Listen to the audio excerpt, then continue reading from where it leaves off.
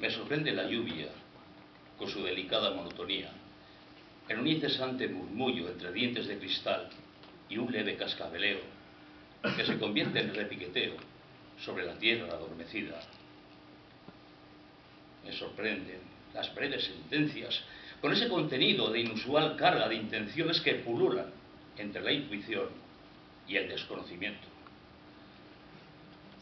Me sorprende la retórica que alardea de su ornato, sin una imagen capaz de retenerse en nuestras retinas.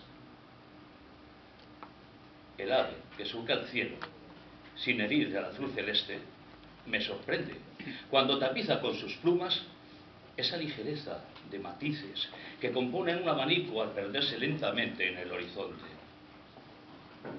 Me sorprende que adivines mis palabras, aun cuando no las pronuncio, cuando te las muestro al besar tus labios.